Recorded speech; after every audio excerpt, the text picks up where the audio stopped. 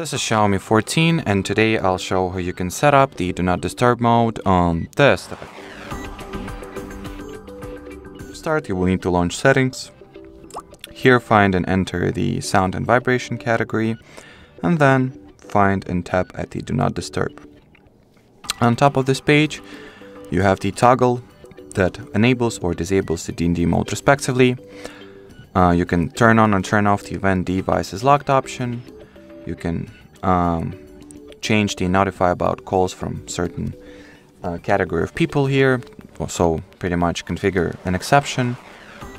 Uh, enable or disable the notify about repeated calls toggle and set up the automatic um, start and end time for the DND mode to be automatically enabled and disabled. You can also set its repetitiveness and so on. So I guess as far as this video goes, that'll be it guys. So thanks for watching, thanks for your attention, and bye bye.